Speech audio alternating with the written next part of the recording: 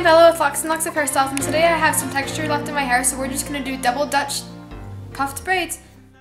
So start with the center part in your hair and we're going to French braid each side, but it's an inside out French braid or also called a Dutch braid.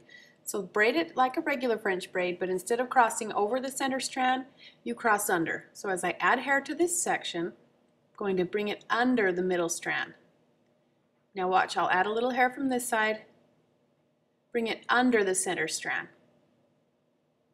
So it's exactly like a French braid, but it's inside out. Might confuse you at first, but you'll get the hang of it. So just keep doing this inside out braid as you go down.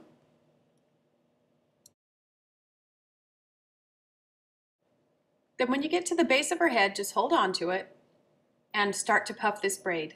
And the, I like this braid really, really thick. So keep a good hold on the bottom and just tug and pull until it gets as fat as you'd like. And when you've got it that thick, then go ahead and continue to braid down the strand.